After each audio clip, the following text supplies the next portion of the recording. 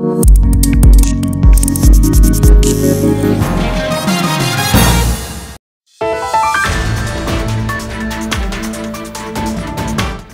के थाना model town area के आदर्श नगर में बीती रात चोरी को एक बड़ी वारदात होने से क्षेत्र में दहशत का माहौल व्यक्त है। ज्ञात हुआ है कि अज्ञात चोर प्लाईवुड व्यवसाय हरिचंद जैन के घर में रात को घुसे और इत्मीनान से घर में बड़ी वारदात को अंजाम देकर गोल्ड ज्वेलरी, कैश और दो मोबाइल लेकर चंपत हो गए।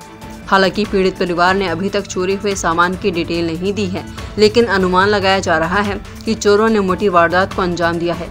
याद रहे कि कॉलोनी में रात को जागरण था और पूरा परिवार माता के जागरण में गया हुआ था, और जब वे जागरण से वापस आए, तब उन्हें पता चला कि चोरी की वारदात हो चुकी है।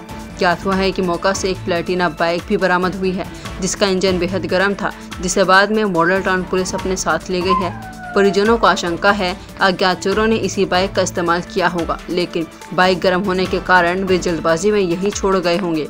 फ़िलहाल पुलिस हर पहलू से जाँच कर आरोपी तक पहुँचना चाहती है। इस घटना से जहाँ हरिचंद जैन का परिवार दहशत में है, वहीं कॉलोनी में भी इस बात को लेकर भय व आक्रोश बना हुआ है कि कैसे चोरों ने इतना बड़ा दुस्साहस दिखाया।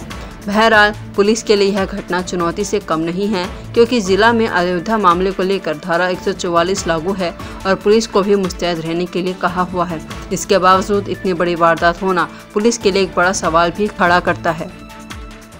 मैं जागरण में गया हुआ था। और जागरण से जैसे भी मैं सोने के लिए घर पे आया तो देखा तो बाहर आ गई था, बाहर की खिड़कियाँ टूटी पड़ी। थी शीशे सारे टूटे खिड़कियों के, गैंग रूम आपने देखा उसके बाद कोई चेक किया आपका नुकसान वगैरह क्या हुआ है? हाँ, नुकसान तो सारा ही हो गया सारे लोग लोग सब तोड़ दिए अंदर के अलमारी के सब जेवर है सब लेके निकाल के। पैसे थे कैश थे मोबाइल ले गए अच्छा जी। कैश था जेवर था मोबाइल थे सब ले गए। घड़ी थी एक। बड़ी वाली। बड़ी घड़ी थी वह महँगी घड़ी थी बल्कि।